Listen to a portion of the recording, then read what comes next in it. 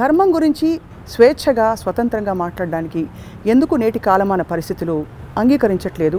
ఇదే అంశంపై ఇవాళ ఒక గొప్ప నటి నిర్మాత ఒక చక్కటి తల్లి అన్నిటికంటే ముఖ్యంగా ధర్మాన్ని ఆచరించే ఒక భారతీయ స్త్రీతో మాట్లాడబోతున్నాం.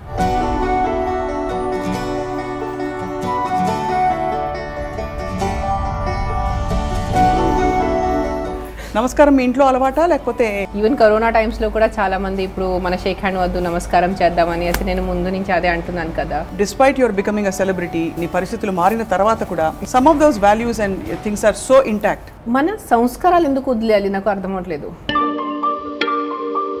సంస్కారాలు ఉంటూ వీ క్యాన్ గెట్ మోడర్నైజ్డ్ నీ ధర్మం ఏమిటి అని అడగడం కూడా ఇప్పుడు ఇవాళ రోజుల్లో personal and very sensitive Yes. Sometimes perceived as very rude Hinduism గురించి మాట్లాడడానికి వెళ్తే I'm immediately being branded as either communal or bhakt నా థాట్స్ కొంచెం ఏమో ఎలా చెప్పాలి తెలుగు? స్ట్రాంగ్ ఉంటాను. Black and white clear secular కంట్రీలో నా రిలీజన్ గురించి నేను మాట్లాడటానికి నేను ఎందుకు భయపడాలి?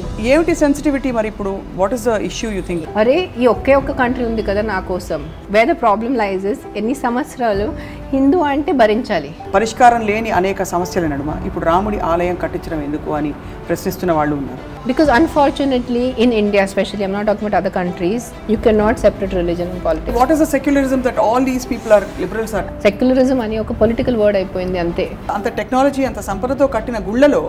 చాలా చోట్ల they have become tourist places saying that churches and temples should be, uh, masjid should be uh, private, uh, government owned. They should be private owned, but even temples should be private owned. అంటే ధర్మం పరంగా నేర్పించిన విషయాలు ఇంట్లో అమ్మ వైపు నుంచి కానీ అమ్మమ్మ. అమ్మమ్మ. అమ్మమ్మ ఒక్కడే చెప్పారు ధర్మంలో సిగ్గు ఉండకూడదు.